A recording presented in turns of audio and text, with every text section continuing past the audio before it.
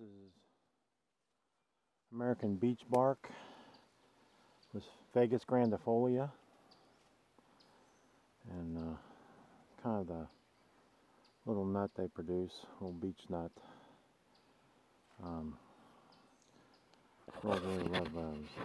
Show you the leaf pattern for American beech.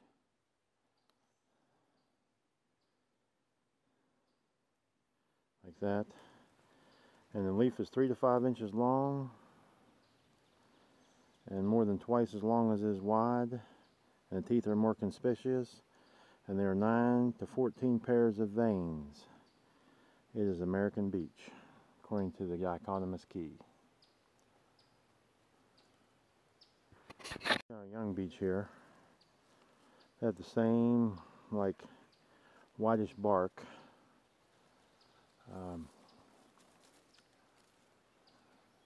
Alternate branching, American beech.